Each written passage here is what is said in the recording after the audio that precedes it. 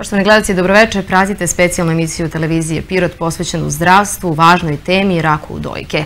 Da se o tome nedovoljno govori, da je svest o prevenciji na niskom nivou, pokazuje statistika.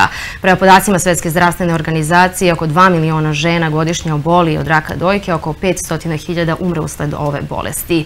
To treba da nam bude opomena, da ne postanemo deo te statistike. Oktobar se u mnogim zemljama sveta obeležava kao međunarodni mesec borbe protiv raka dojke i to je povod za razgovor sa stručnjacima.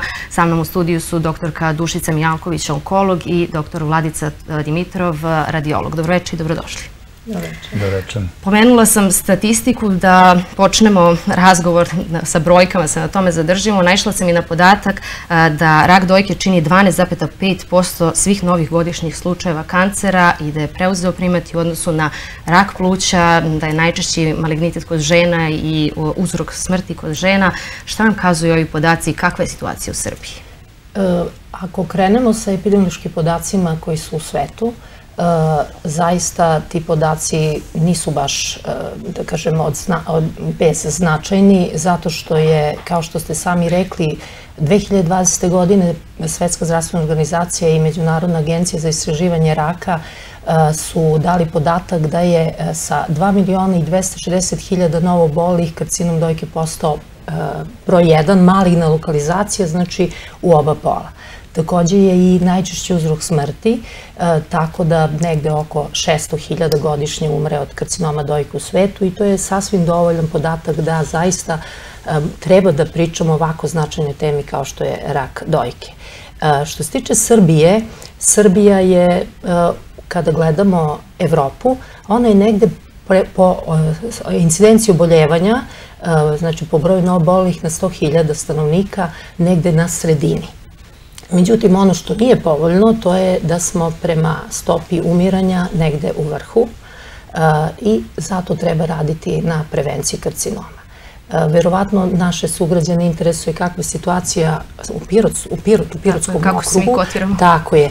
Mi se odlično kotiramo. Zašto? Zato što se nalazimo među svim uh, okruzima na pretposlednjem mestu i po stopi, odnosno incidencije oboljevanja, tako i po stopi umiranja.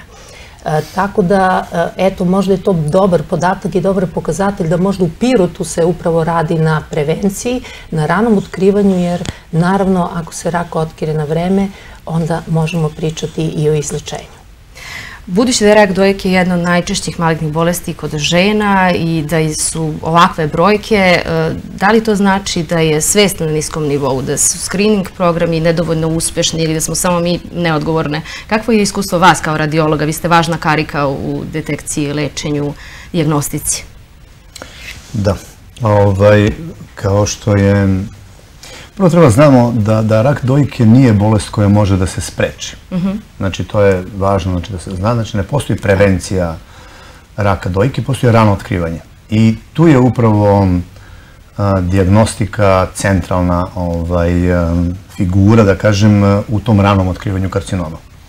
Postoje mnogi algoritmi kako treba, šta treba, a, koje su godine ovaj, kada treba početi sa, sa bilo kakvom diagnostikom ali mi smo na osnovu, da kažem, svetskih e, ovaj, programa, na osnovu naših iskustava, došli do nekog algoritma koji bi možda bio najbolji za ranu detekciju karcinoma.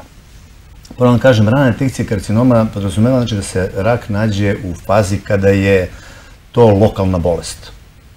Znači, kada je rak lokalna bolest, onda postoji veliki ovaj, procenat e, izlečenja ili bar e, ovaj, veliki procenat žena koje će imati petogodišnje, desetogodišnje i duže preživljavanje, odnosno imaće kvalitetan život e, sa, tim, ovaj, sa tom bolešću.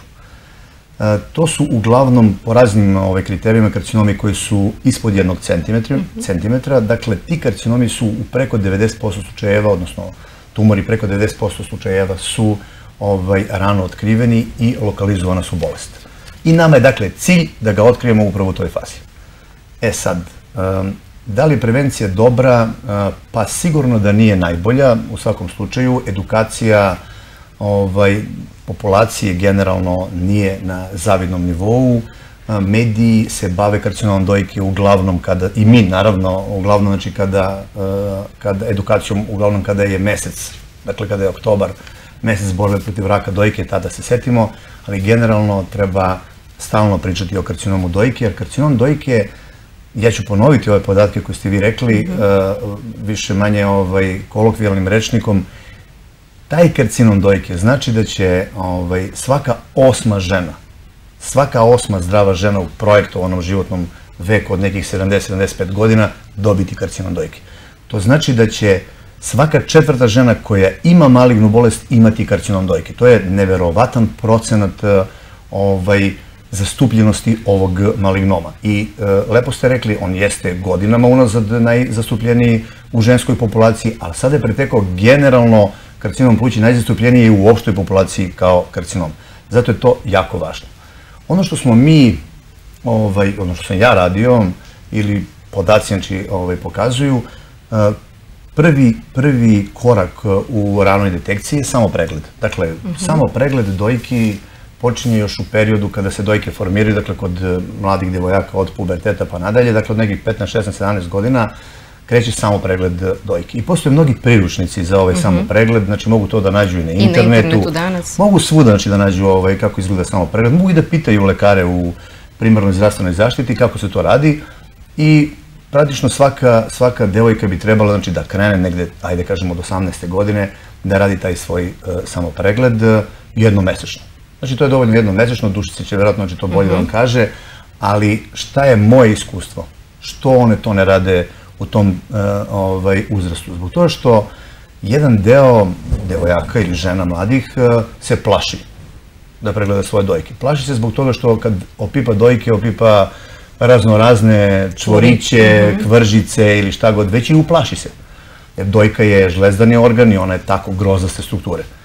I uh, ono što ja kažem znači, svima njima, to je kada krenu uopšte znači, da rade te svoje samopreglede i kada prođe mesec, dva, tri, kada to urade nekoliko puta, mogu da dođu na taj inicijalni, primarni ultrazvučni pregled.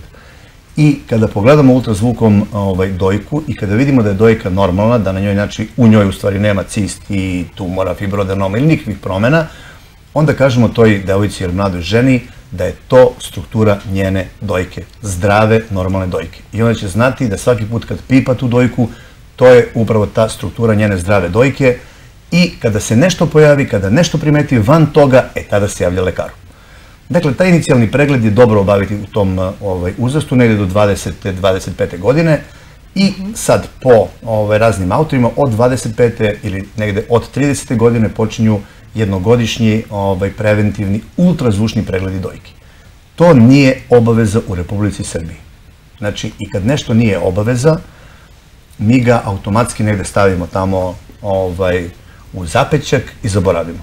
Da. A, a niko neće o zdravlju brinuti više nego sama osoba. Dakle, sama žena najviše treba da brine o svom zdravlju, a tek onda znači, da očekuje da institucije brinu o njenom zdravlju. I kažem, od 30. godine kreću jednogodišnji ultrazvučni pregled dojki i od 50. godine kreće već ovaj, obavezan mamografski pregled, screening pregled dojki koji ide na dve godine.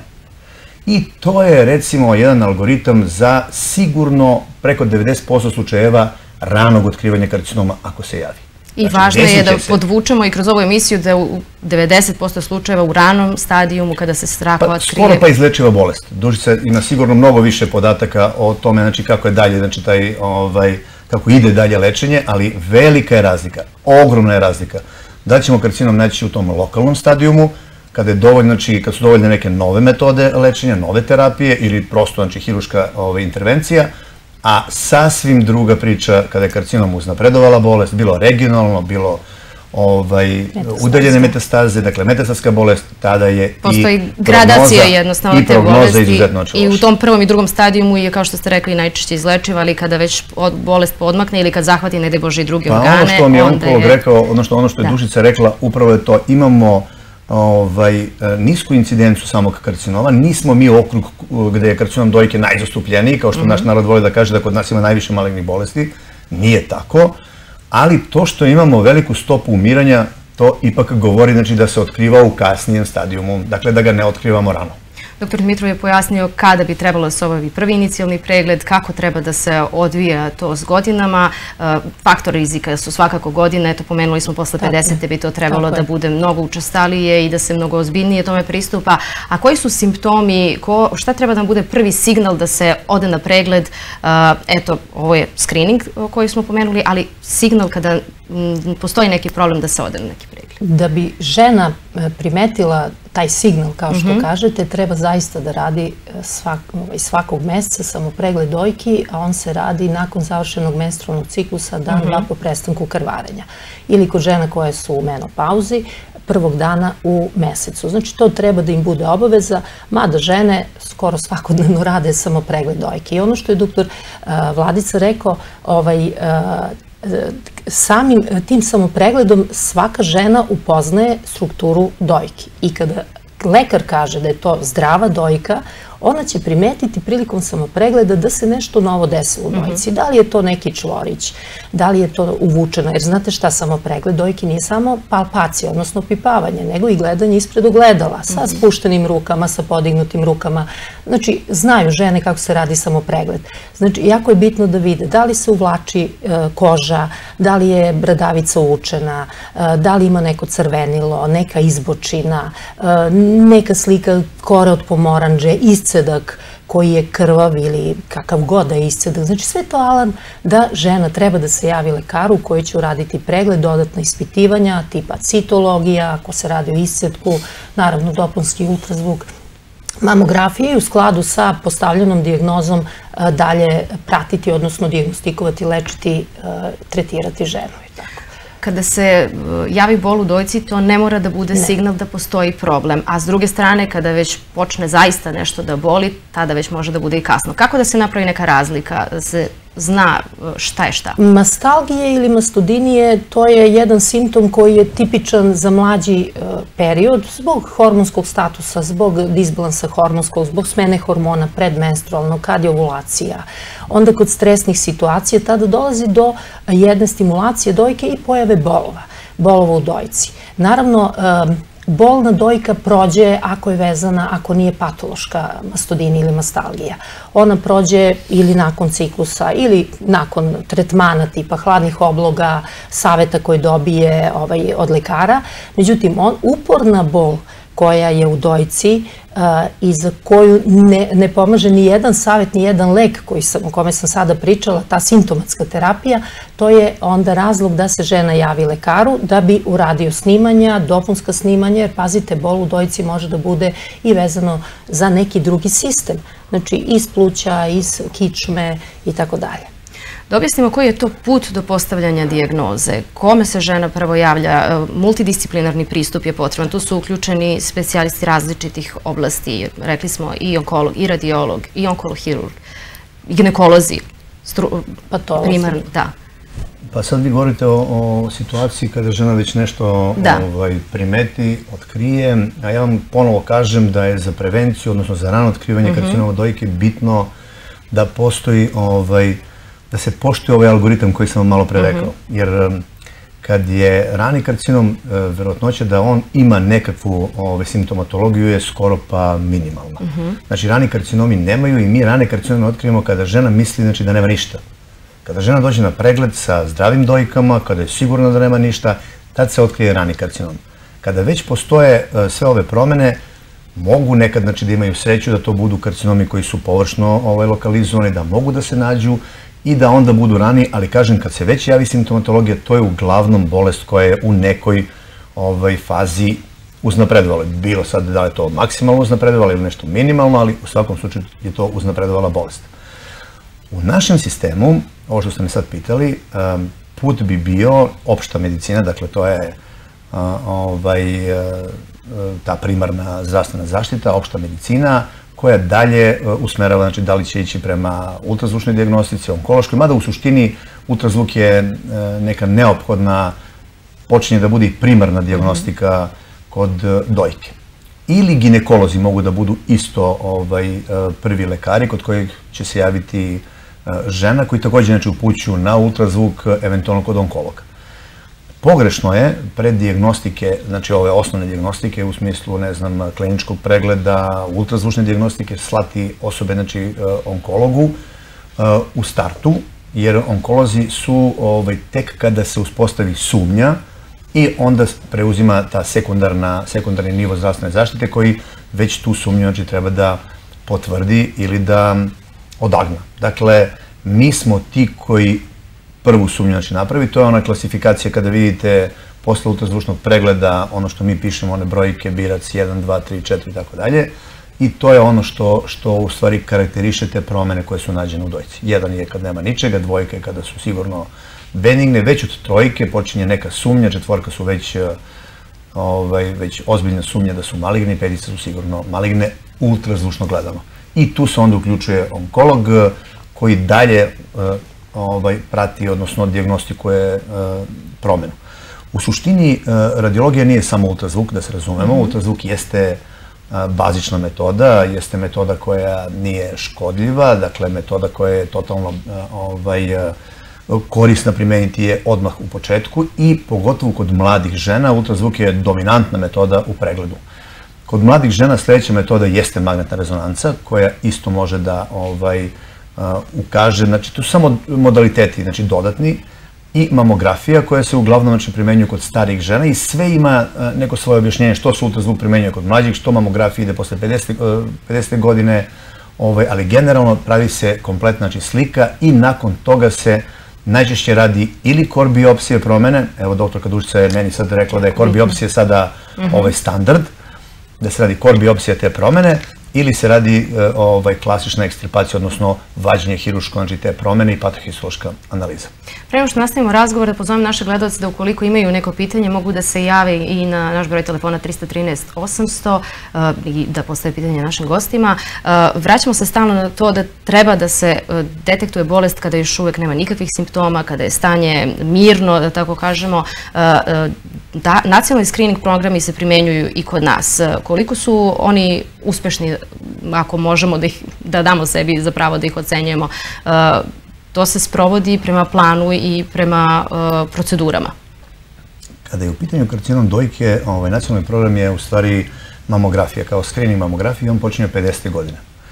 Mi nemamo, pa ne samo mi, moram da kažem, ni u svetu ne postoje screening programi znači, za mlađi uzrast, uh mhm. -huh. ali, nažalost, karcinom dojke više nije bolest uh, starih žena. Pa smeo bih se usuditi da kažem da, da uopšte nije više bolest starih žena, zato što ja se 15 godina bavim karcinomom i za tih 15 godina se vide promene ovaj, i pitanje kako će to ići u budućnosti, obzirom da se prag spustio prilično i da sada... Da, Oko 5% je ispod 40 godina. Da, znači da nije se, to toliko mnogo vladica, da se, ali opet... Da se prag, ali, ali jeste, slažem se, slažem se znači sa statistikom, naravno, u ukupnoj populaciji, da. ali mi već imamo sumnje ovaj, i karcinome potvrđene da, znači, sa, da, da, da. kod žena znači, koji imaju 30 godina, govorim i ovde kod nas, bez namere da nekog plašim, ali već postoji to, taj prag se dosta znači, spustio i već, da kažem, negde u uzrastu od 40 do 60 godina je i najčešći ovaj, karcinom dojke.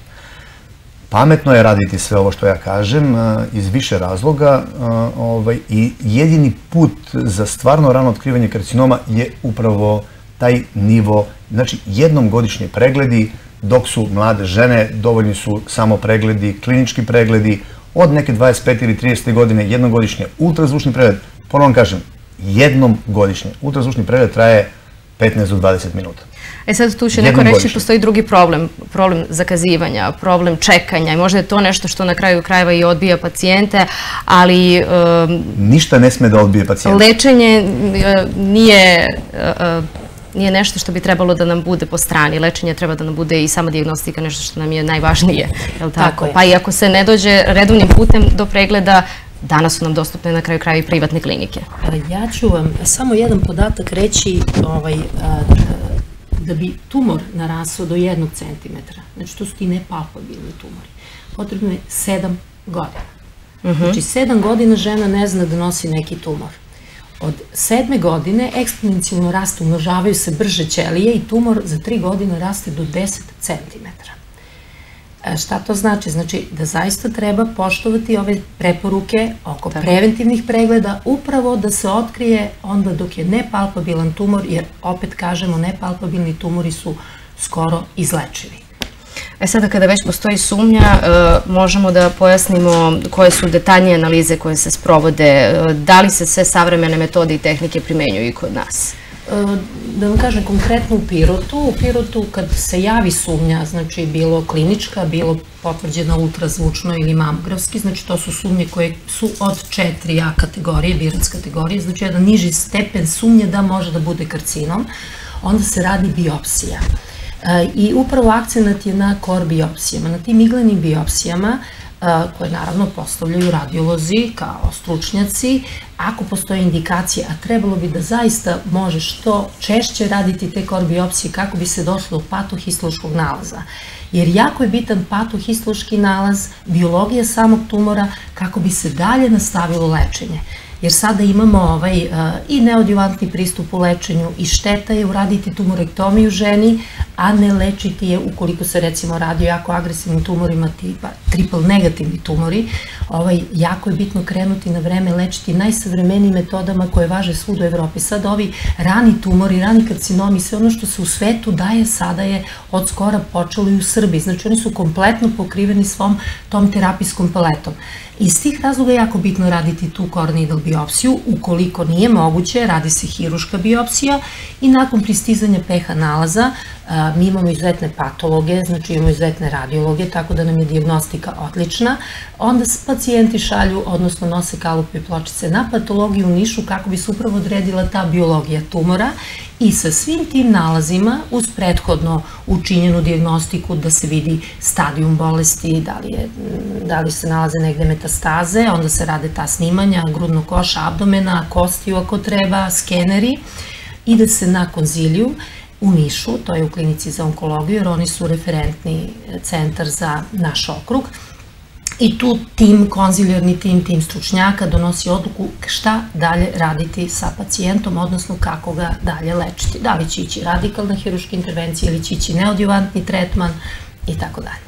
Cilj je dakle da se zaustavi napredovanje bolesti i ukoliko je moguće da se ukloni rak, e, lečenje se sprovodi, pomenuli ste diagnostiku, ali lečenje se sprovodi takođe na različite načine. E, koje su sve to modaliteti? E, modaliteti lečenja su pored hemioterapije i savremene biološke terapije, target terapije, imunološke terapije, radiološka terapija, odnosno radioterapija ovaj, i naravno hiruška terapija. Hirurgija je da kažem, baza, bazični tip lečenja u onkologiji. Tako da, eto, to je to svi modaliteti lečenja. Mi u Pirotu, kada govorimo o terapijama, neke terapije naravno dajemo, neke terapije se primaju u Nišu, naravno zračenje se radi u klinici za onkologiju, hirurgija se radi u Pirotu, tako da u načelu svi naši pacijenti su pokriveni kompletnim tim terapijskim modalitetima. Možda nije loše da kažemo i kada je mastektomija, odnosno uklanjanje dojke, jedino ili najbolje rešenje? E, mastektomija, e, pazite, mastektomija se radi u zavisnosti od patohistološkog nalaza i od odmaklosti te bolesti. Ukoliko je lokalni ovaj, tumor, znači tumor, naravno metastatske bolesti e, nikada, znači ta proširana bolest, ona je samo sistemski se leče, znači ne radi se mastektomija. A sada se akcenati na poštednim operacijama, poštedne operacije znači idu nakon neodjuvantnog tretmana, kada se tumori smanje, kada se povuku limfni čvorovi, taj loko regionalno uznapredovala bolest se uvede u neku lokalnu bolest, onda se ide ka poštednim operacijama ili ako je tip tumora patohistološki lošiji, biologija tumora lošija, onda se ide i ka mastektomiji. Znači skidanje dojke. S tim što ja moramo voditi računa da ta psiha kod žena nakon mastektomije je jako bitna jer taj da. psihički status, taj, taj stres u stvari posle skidanja dojke može da naruši uh, opšte stanje, odnosno da pogorša bolest, da dođe do relapsa bolesti i onda uglavnom mlađim osobama se može dopunski raditi uh, ovaj, endoproteza, znači ugradnja proteza, tako da eto imamo i tu opciju, ali to se radi naravno u Beogradu. Pomenuli smo e, da se sa ovom bolešću živi, da se nekako ide ka tome da se prevede u neko hronično stanje. E, potrebno da se prate i drugi organi, da se periodično odlazi na preglede. Koje su to još pregledi koji se mogu očekivati kada već postoji dijagnoza? E, to onda vodi onkolog. Znači, to je ovaj, pitanje za onkologa. Mislim, ja mogu da vam odgovorim ovo, ali tu kada se već bolest otkrije, kada se patohistološki potvrdi ovaj, maligna bolest, e, onda to onkolog vodi i onda su to redovne kontrole koje su zavisno od tipa tumora i od godina koliko traju. Kontrole, idu na tri meseca, na šest meseci, na godinu dana, rade se ovaj, dodatne analize, kod svih njih se rade, govorim sad kao radiolog, kod svih njih se radi ultrazvuk abdomena jer je ciljni organ za, za karcinom dojke jetra i ovaj, to se radi i rade se scintigrafije kostiju, Dušica, doktorka Dušica bolje to znači na koje vreme se rade jer su to ciljni organi za uh, karcinom dojke. Dakle, onkolog je centralna figura onog trenutka kada se maligna bolest uh, ustanovi. Tako, ja ću se nadovezati. Znači, kada je niži stadijum bolesti, e, pacijentkinje se prate ultrazvučnim pregledom, radiografijom pluća, hormonzavisni tumori unutar 5 godina, radimo obavezno jednom scintigrafiju unutar tih 5 godina, a, kontro, a naravno viši stadijum bolesti, znači ukoliko se otkrije u samom startu, znači da se radi o nekoj metastazi, nađeno je bilo gde, da li je jetra, onda se radi radi stadiranja upravo bolesti i praćenja terapije, efekta terapije, radi se stadiranje, znači skenerima, pluća, abdomen i mala karlica, da bi se nakon toga procenio ovaj, i efekat e, terapije, odnosno odgovor na terapiju.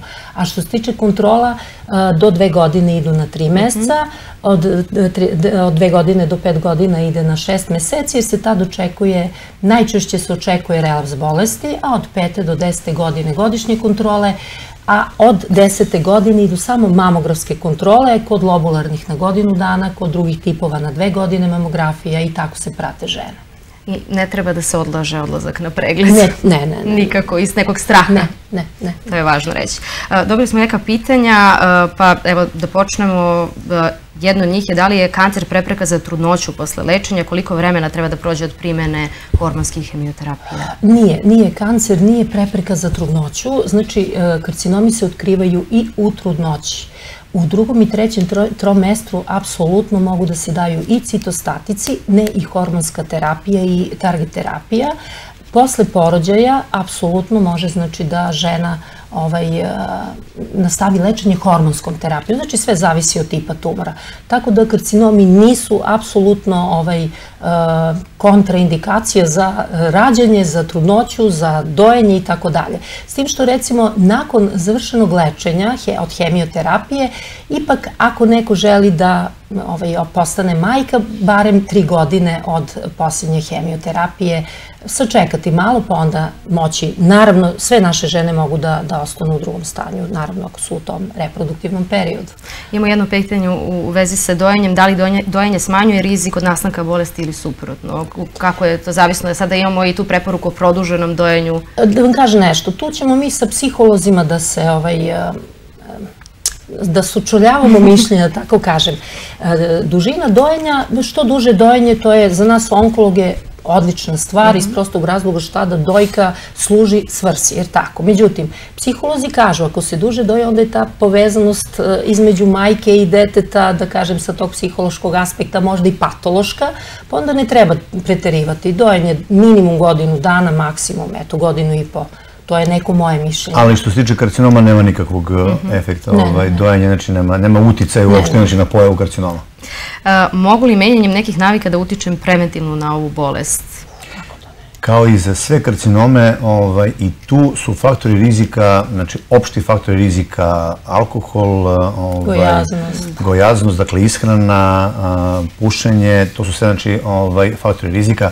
Nebavljanje fizičkom aktivnošću je također jedan od velikih faktora rizika.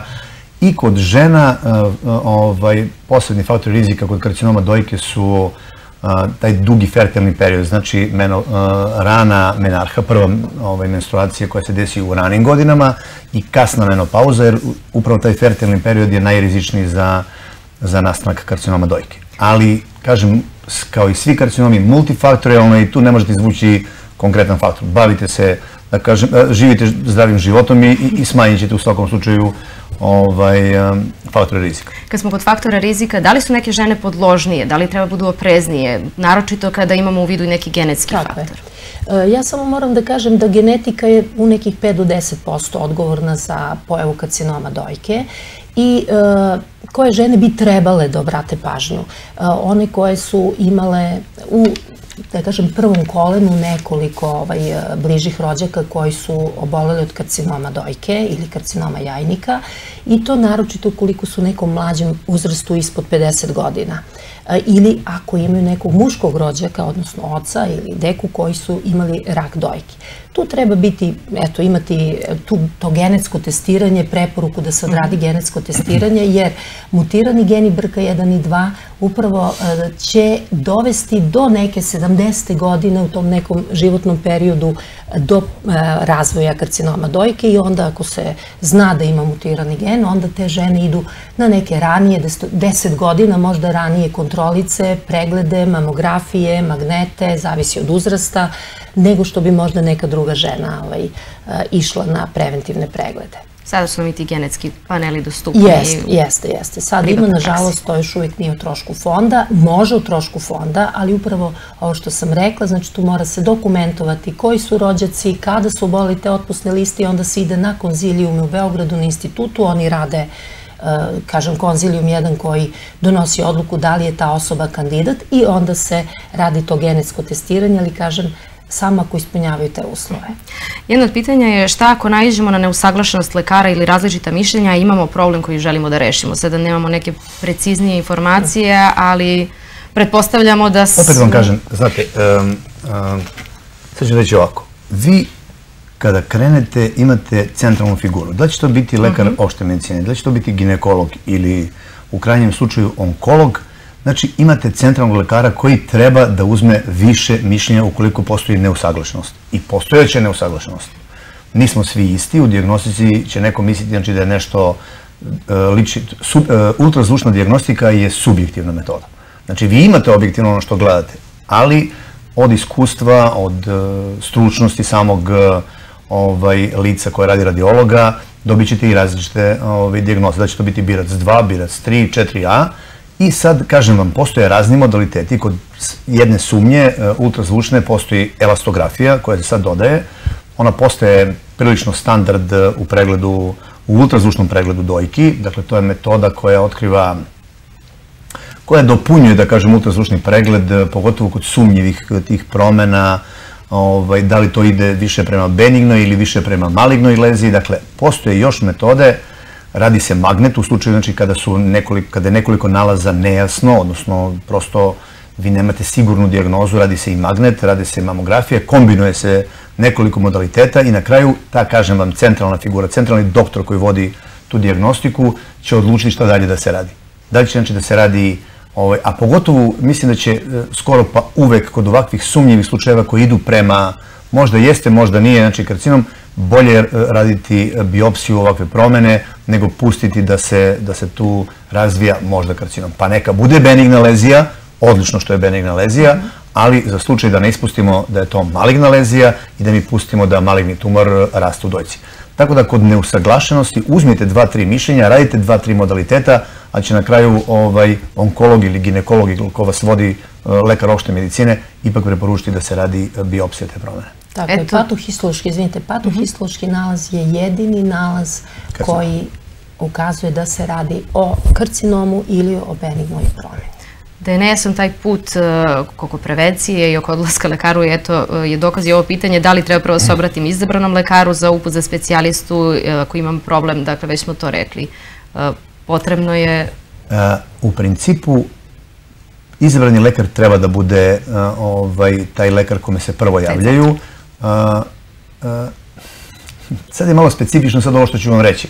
Znači, vi se javljate lekaru kad imate neki problem. Tako je, a mi sve vreme pričamo o tome da je potrebno otići na pregled bez ikvih nemate problem, znači, postojali su ovaj, pri opštoj medicini preventivni centri. Ja mislim da postoji znači, dalje preventivni centar u Domu zdravlja, znači u Pirotu, gde mogu da preporuče. Međutim, pitanje je kako će se sad sve to ovaj, dalje završavati. Obzirom da nam je E, čitav zdravstveni sistem prenapregnut. I to ne treba bežati od ove realnosti. Jeste prenapregnut, jeste teško ono što ste na početku rekli, pa smo nekako ovaj, se mi začutali, jeste teško doći do, do, do specijaliste, do, do termina, stoji. Zato što ne mogu kažem da smo toliko bolesna nacija koliko imamo ovaj veći broj pacijenata koji se javljaju, odnosno naši lekari su pretrpani pacijentima i nisu oni ljudi krivi što nemaju e, termine. Znači, niko ne sedi okay. bukvalno ovaj, besposlen negde u, u, u bolnici. Svi imaju veliki broj uh, pregleda, svi imaju norme ostvarene preko 100%, ali to su neki standardi koje smo mi prihvatili kao država kad smo krenuli prema Evropskoj uniji i mi smo prihvatili neke standarde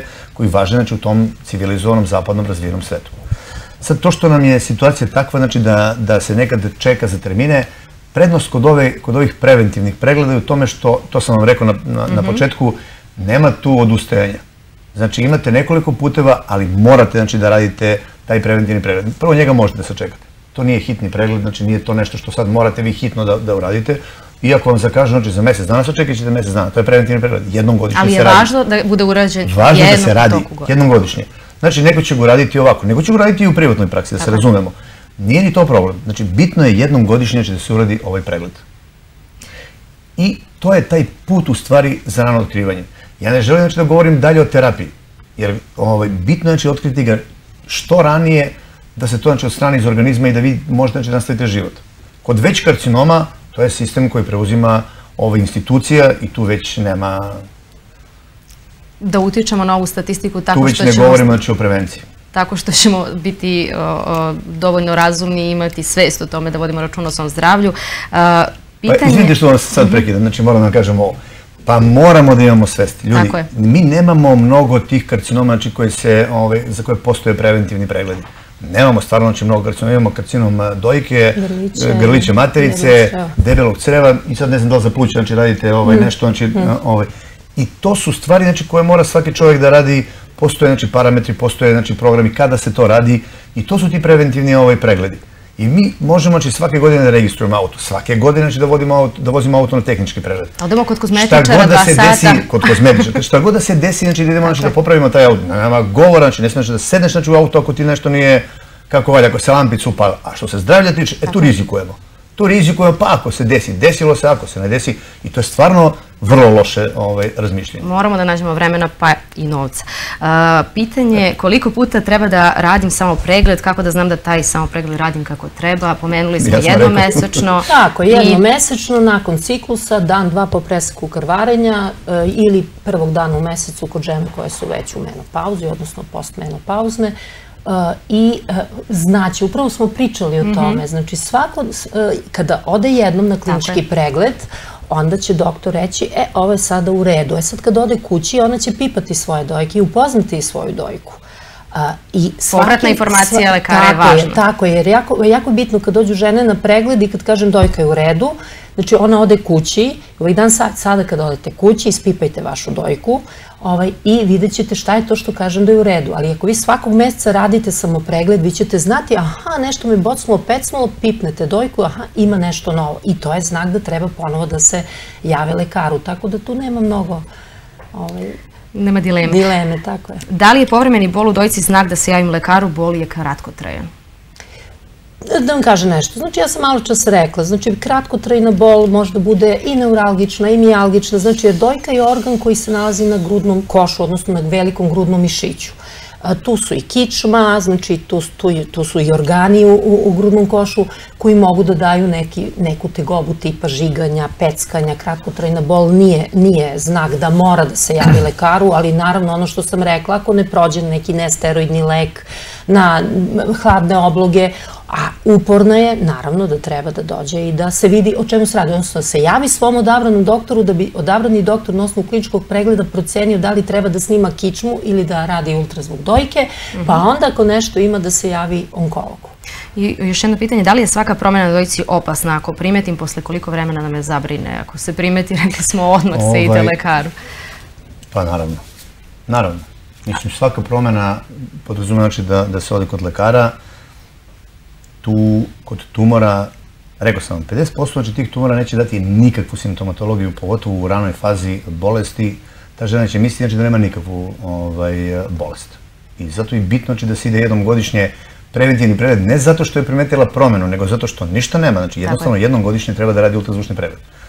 Promene svakakvog tipa, a da nisu samo one klasične kožne promene koje svi znači, znaju bubuljici ili šta god već, su već indikacija za pregled. I jave se svom lekaru ovaj, izabranom, ultrazvučni pregled sam skoro siguran da će biti ovaj, indikovan. Dakle, bit će upućen na ultrazvučni pregled jer sve što se nalazi ispod kože ultrazvuk eh, dobro detektuje. Ako smo kroz ovaj razgovor osvestili makar nekoliko naših sugrađana, sugrađanki da dođu na pregled i to urade preventivno, dakle pre ikakvih simptoma, mi smo dobar posao uradili ovom emisijom. Ili imate još nešto što biste želeli da dodate, da istaknete na kraju ovog razgovora? Pa eto, opet pozivamo sve žene na, u našem okrugu da budu redovne u screening programu pre svega, da se odazivaju na pozive, bilo da je to screening za dojku ili za grlić ili kada je u pitanju debelo crevo, da uvek daju prednost upravo tim pregledima, a, a manje nekim privatnim obavezama i a, mlađim osobama redovni pregledi, redovni samopregledni, znači i da svi mi zajedno probamo da smanjimo stopu smrtnosti, a smanjit ćemo i upravo celom ovom pričom koju smo sada vodili. Ja bih rekla da je ovo dobar zaključak i meni ostaje da zahvalim na gostovanju i poštovani gledalci, hvala vama na pažnji. Ostanite dalje uz program regionalne televizije Pirot. Želim vam prijetno večer.